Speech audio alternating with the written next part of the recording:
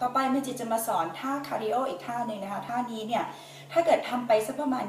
20-30 วิเนี่ยคุณจะรู้สึกถึงอาการของหัวใจที่เต้นเร็วขึ้น แล้วก็ได้อัตราการเผาผลาญที่ burn เร็วมากเลยนะคะท่านี้เขาเรียกว่า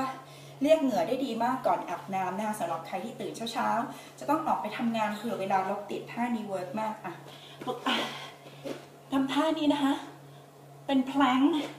plank ปกตินะคะ แล้วก็ซ้ายยกเตะ แล้วก็เปลี่ยนเป็นขวายกเตะ แล้วก็ตรงซ้าย เตะ ตรง ขวา เตะ ตรง อย่างนี้นะคะทำไปเรื่อยๆ สักหนึ่งนาที คุณจะรู้สึก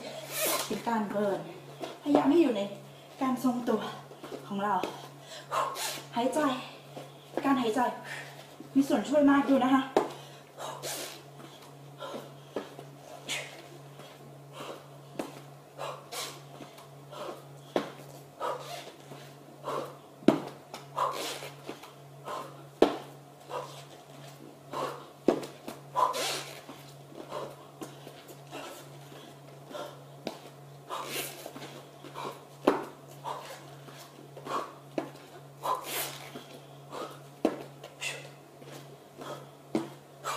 การหายใจสำคัญมากเลย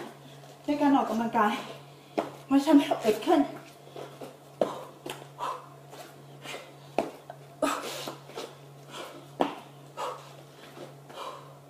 เอาละค่ะ